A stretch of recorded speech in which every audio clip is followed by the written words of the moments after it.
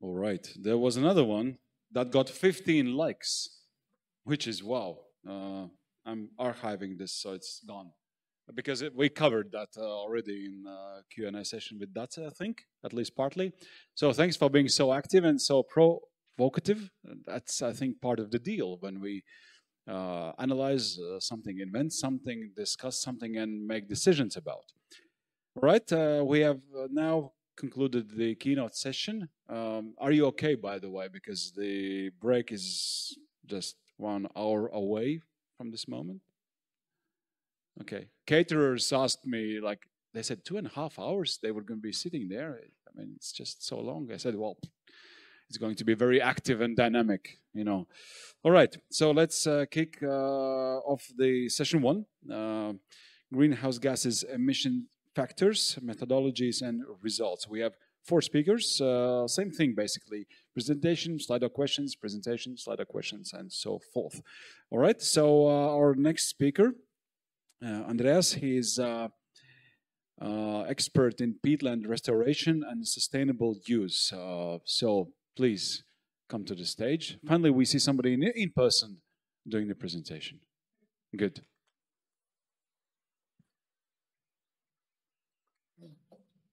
Okay, thanks. Yes, so welcome everybody. Also online people, welcome to my presentation. I will give a presentation on distribution of peatland and organic soils in the Baltic Sea region gaps and knowledge and challenges for climate change mitigation. My name is Andreas Haber. I work for Michael Succow Foundation, partner in the Greifswald Mire Center, and we were also partner in the project. So if we have a look on peatland use in Europe, um, so peatlands are mainly drained and used for agriculture, forestry, and peat extraction in Europe. And here you can see in these uh, pie charts um, that um, the north and the northeast of Europe uh, contains large peatland areas and a lot of peatlands are used there for forestry, agriculture and, and peat extraction.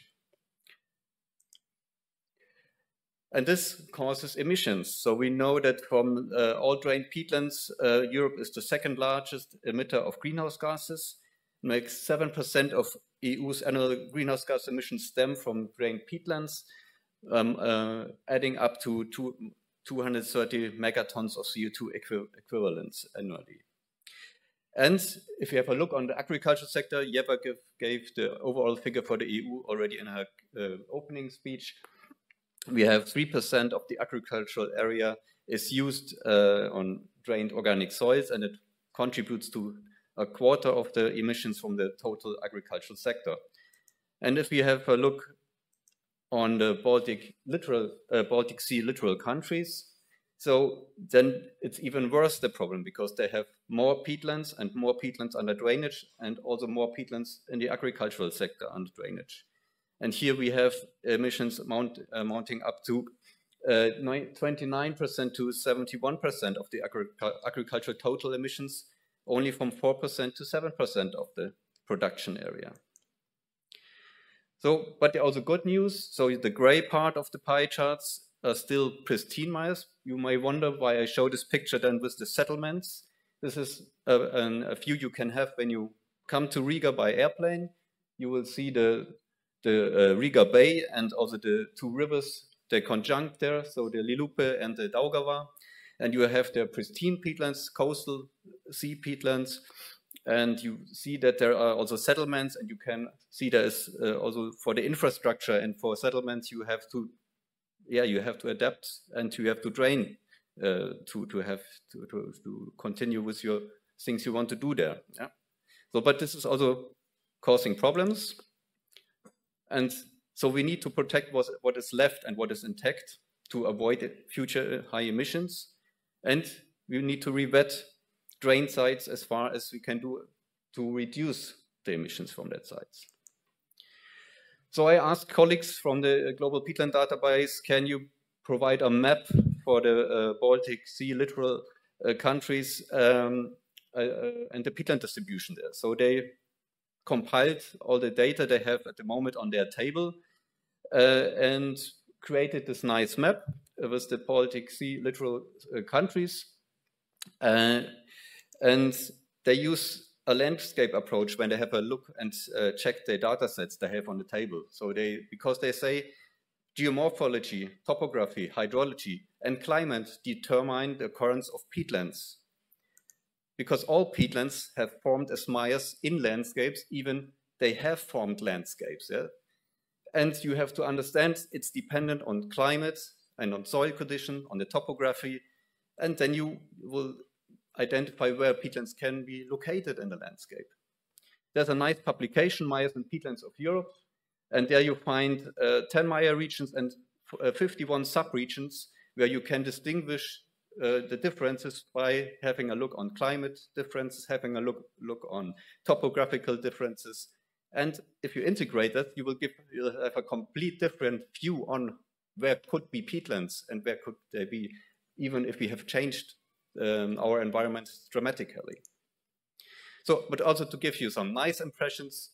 So we have also a high mire biodiversity, uh, mire diversity in, in Europe and also in the Baltic Sea region. So in the north, we have things like Palsamires. So this is related to permafrost and ice. So in this little heap of, of peat, you find an ice lens that uh, um, even uh, stays in summer because it's isolated by the peat on top. And you have large fen peatlands in, in the northern region. Yeah? These aapa mire complexes where you can see how the water flows and creates patterns on landscape level. Yeah? Beautiful pictures you can observe there from, from, from the bird perspectives. And you have, of course, these typical, typical bog peatlands, um, like this one in Estonia, it's not the most pristine. It's close to, to Tallinn, but you can go there with the public transport and you have a really nice impression how these bog systems look like. And you can walk through and you find, even in dry summers, you find this nice, wet and uh, relaxing uh, landscapes. Or also in Latvia, we have also these, these bogs, typical bog region peatlands. Or in, in Lithuania, this Raiskei raised bog is a very nice landscape. You'll be there and that you have this horizon, white horizon, you have a, a, completely different perspective on landscapes if you walk through such peatlands. And we find them also in the Atlantic bog region. You find also raised bog systems.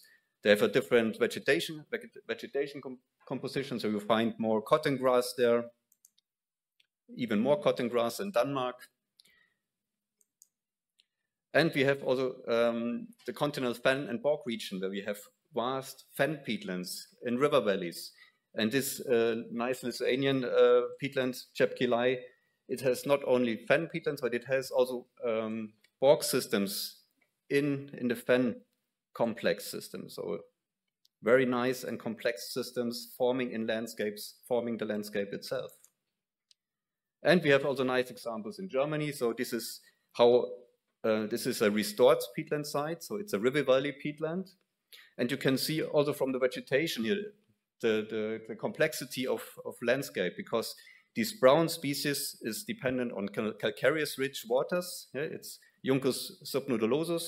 And you can see here uh, that there is groundwater coming up, cal calcareous rich, and then it, when it uh, um, pro promotes to the, um, to the river in the center of the valley, you get rid of your uh, calcareous contents in the water, and then you have a change in vegetation. So you can identify from the composition of vegetation and patterns, you can trace back to the properties of water and soil.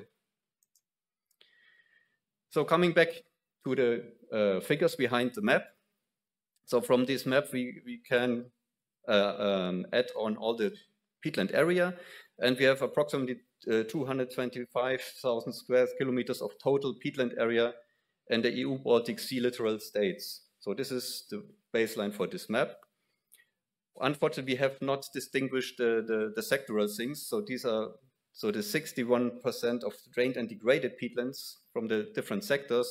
This is from data from 22, but this is also that what was the national inventory of 21 that was included in the 22 data. But what we can see, the overall picture of the total peatland area keeps quite stable if we compare the data set from 22 with the data set from 24. So the overall great picture we know, and it is quite stable. And if we have a closer look uh, and, and compare um, the, the peatland for agriculture, forestry, and peat extraction in the e-Baltic Sea countries between 22 and 20, uh, 21 national inventory data and 23 national inventory data. We see also here the picture stays quite stable. So there are some changes, yeah. You may, and it's not, it's of course, it's not very little because we have here um, square kilometers and it's in the order of uh, 10,000 of square kilometers. It can differ but the general overall picture stays quite stable. So the general picture is clear, and we know where we can start and where we need to start.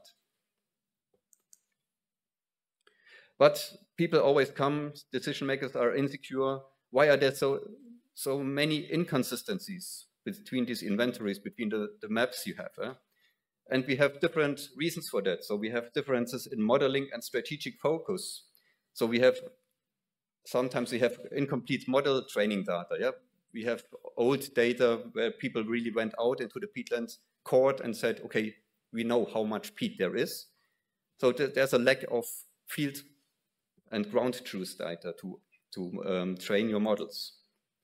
We have activity data bias. Yeah? So sectors have a different view on their resources. Yeah, if you come from a peat extraction company, you're just interested in white peat if you want to produce uh, horticultural substrates, and then you just map, of course, the exploitable uh, resources you want to have in future your business running. So you neglect other parts that are also peatlands and have a special focus. So that leads to also to sectoral different differences in cadasters and definitions and you have administrative expert knowledge gaps. Yeah, there's often if you have people sitting on a desk uh, making strategic planning, they have a lack of ecosystem understanding. So there's a technocratic approach and focus often, and so you need more of uh, consultants in uh, ecosystem understanding and ecosystem functioning to get good strategic planning. And you have administrative restrictions. Yeah? There are bureaucratic procedures, for example, the UNFCCC or the EU, EU regulations, that yeah, it's a corset to keep working. But yeah, um, you have then also, you are not very flexible in integrating nature things, yeah, because nature is a living thing. It's not on paper. And of course, then you have political strategies and programs, yeah, and that you have conflicting priority settings.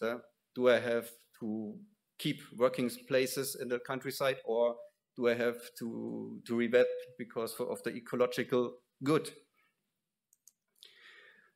The way out is a lot of communication. And of course, we need ground truthing in the end. We need to go out and have a look. Is peat left or is the peat already gone?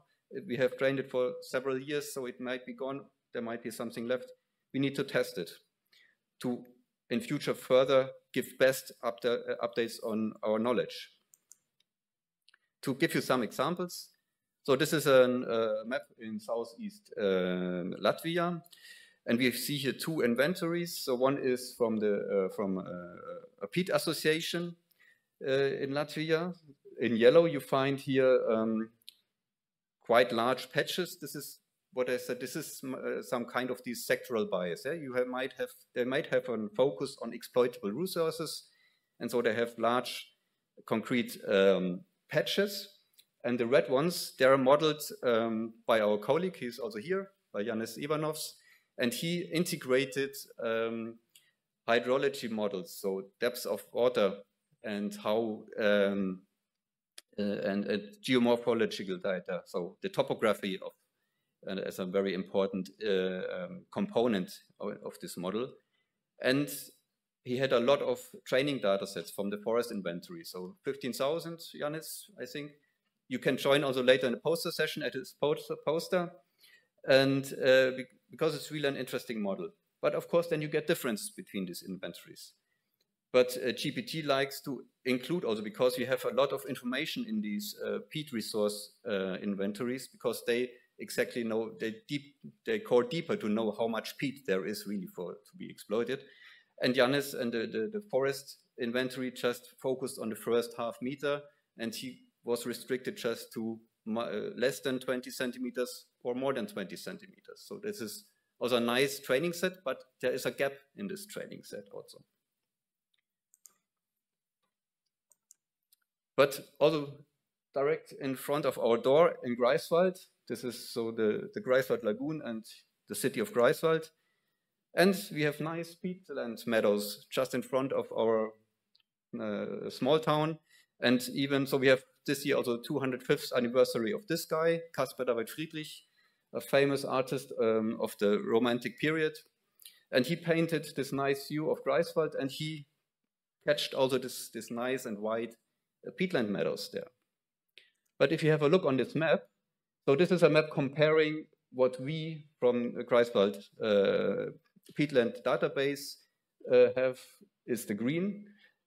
And the green uh, color indicates the, um, where we overlap and have the same uh, ideas on, on the peatland distribution as Thünen Institute. Thünen Institute does the national inventory report and uh, is, uh, gets all the data from the federal states, uh, from the administra administrations of the federal states. And you see, so blue is Thünen, green we overlap, and red is which data which only we and Greifswald, Meyerstand, and the uh, global peatland database have. So there are differences, and it's not uh, it's not nothing on this map. So these are quite huge red patches you see there, but we know at this cases we know where they stem from. So because you have persons working also, yeah, and you there you have animosities between persons. So this was a guy who uh, mapped these coastal peatlands, but he was neglected from the administrative bodies. So they had some quarrels or whatever, so it was neglected and dropped out of the national inventory. So Thünen got not the information, but we, of course, we had students going there and having the, the diploma thesis or master thesis, and we know, okay, there, there must be some peatlands. We have some, some of them had been rewetted already. There had been rewetting projects. Yeah. But so then this is why you can get wrong ideas about what's, what's out there. So conclusions. There is no universal and best map. Map is always a model. But we know already enough to act. Yeah, we don't need to wait for the best map and the next map, so we know where we can start and what we need to do. But inconsistencies should, us, should make us aware and stimulate exchange and improvement. So we can improve, but we can uh, start acting and improve in future. And inclusion of groundwater models and topographical data improves maps. And to improve modeling more and, and, and up to date and, and we need up-to-date and on-ground training plots. So we need really to go out and check if there is what is left or what is there. For those who are interested, so these are the, the references for the map. So this is all, all the data that was used for, to, for this map. And to conclude, peatlands must be wet. And if you want to learn more about paludiculture, it's a nice term. We have a nice poster at the poster session. You're welcome to join our poster and we have nice discussions there. Thank you. Thank you. Thank you, Andres. Um, uh, when I, I will be asked today, how was the day? I would say I learned something new. Peatlands must be wet. I mean, nice uh, slogan to start with. Um, okay, so we have a bunch of questions that came in through Slido. Um, well, obviously we can't see them from here, but uh, I can read them. Okay, so um, this is a nice one. If you could suggest with immediate acceptance one thing to the Ministry of Agriculture in Latvia, what would it be? With immediate acceptance. With immediate acceptance. Like you have all the power in that ministry. So what it is. And yes. So what I would recommend is to have a complete revision of our water management because agriculture needs water as forestry, as we all need water to survive, and we need to have water be kept in the landscapes. At the moment, our uh, our system is like we leave all the water out of the landscape in spring, all goes down to the sea, mm -hmm. and in dry summers it's uh, it's needed. Yeah? And even so, also in the Baltics, we had dry summers and drought periods where we have really problems in agriculture to have harvests. Yeah? So my direct recommendation would be change water management mm-hmm. drastically. Drastically. okay, uh, we don't do drastic things in Latvia. We we talk about them yeah. mostly. Okay, so um, You, you showed some examples from Germany. So what's the overall progress with peatland rewetting in Germany? So but Germany has a lot of challenges to face, yeah, and we are not we are not uh, wide, uh, no, we uh, have not reached a lot of targets, but we are on a way. And yeah, we also have a lot of debates. So also there is drastic things have uh, well need debates and of course negotiations. And sometimes you step three steps ahead and two steps back, hmm. but slowly progressing. Yeah, sounds like moving on onwards. Okay, so how do you anticipate climate change would affect the distribution and, and health of peatlands and organic soils in the Baltic Sea region in coming decades? So what we see from modeling uh, is that we will have a different uh, distribution of precipitation. Yeah? So we will have the more wet season will be in the winter season. Yeah. So there will be the most precipitation, the most rainfall, and in summer we will have more and more drought periods.